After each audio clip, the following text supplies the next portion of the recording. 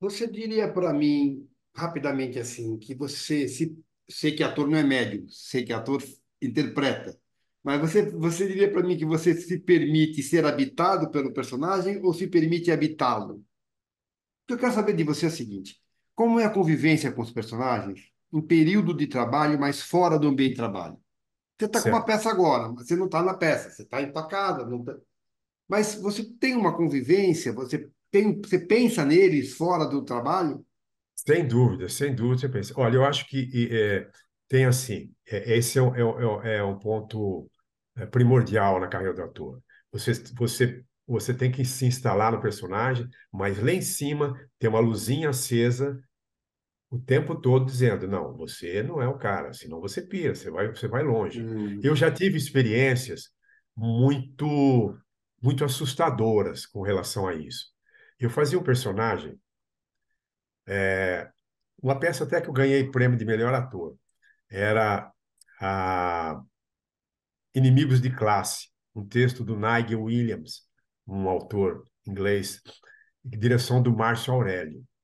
Esse personagem, essa peça, ela contava a história de cinco, uh, cinco estudantes uh, outsider, fora da lei, que, que, que conviviam numa escola inglesa, e eles eram relegados por todos, porque eles eram transgressores, eles eram violentos e tal.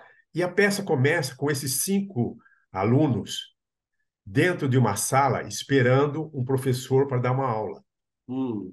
E esse professor não aparece. Então, um deles lá fala: Bom, se não aparece ninguém, então cada um vai dar uma aula do que faz melhor. E o meu personagem era muito violento. Ele fazia, ele era, ele era muito violento. Então, ele começou o processo, assim, as pessoas, as pessoas me olham e falam, você é o cara mais doce do mundo, você é o cara mais calmo do mundo. E, na verdade, eu sou a pessoa mais controlada do mundo. Aí, o Márcio Aurélio, que, aliás, ganhou prêmio de direção naquele ano também. Qual que era a Ele, peça? Inimigos de Classe. Inimigos de classe. Tá. Essa peça, o Márcio Aurélio ganhou o prêmio de melhor diretor, eu ganhei o prêmio de melhor ator, e o Marcelo Andrade ganhou o prêmio de revelação. Foram três prêmios essa peça.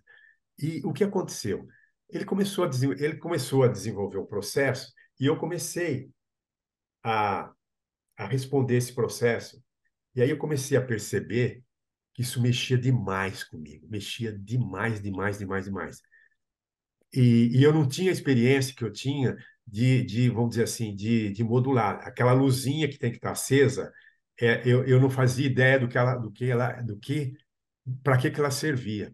E isso começou de uma certa forma, depois de um tempo mexendo com essa coisa da violência, com essa coisa da violência, começou a alterar um pouco o meu dia a dia. Ah. Eu comecei a ter reações fora do palco que me assustavam também. Às vezes eu acordava no meio da noite com uma, uma pressão muito grande na altura do chakra, do, do, do estômago, do, do, coisa aqui, e eu, a vontade que eu tinha era de me rasgar, de cortar. E às vezes eu levantava e, num, num ímpeto de violência, dava soco na parede. A minha mulher ficou muito assustada. E eu também fiquei muito assustado. E eu comecei a, a ter reações é, extra-palco que, é, que eram meio incontroláveis.